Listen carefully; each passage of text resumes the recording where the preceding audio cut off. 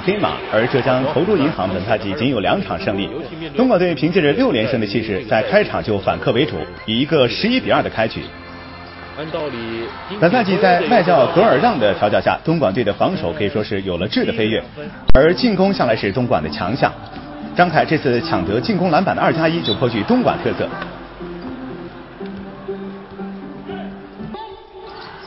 凭借着多点开花的围攻，首节比赛东莞队就将分差拉大到两位数。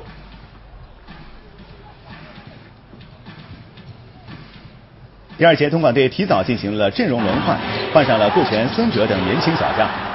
但是浙江队除了詹姆斯抓住机会灵光一闪之外，也难有其他作为。东莞队重新换上主力之后，更是将进攻打得行云流水。尤其值得一提的是外援弗洛曼，这位两米零八的大个子已经成为了球队的进攻轴心，他也是目前球队的助攻王。本场比赛，弗洛曼贡献了全队最高的三十三分。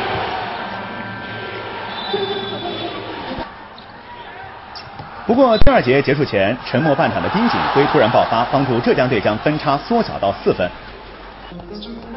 下半场刚开始，双方都派上了双外援。尽管名气不响，但是东莞队的小个子外援约什的突破能力还是值得肯定。敏捷的反应和良好的控制，让他接连得分，帮助东莞队一直处于领先。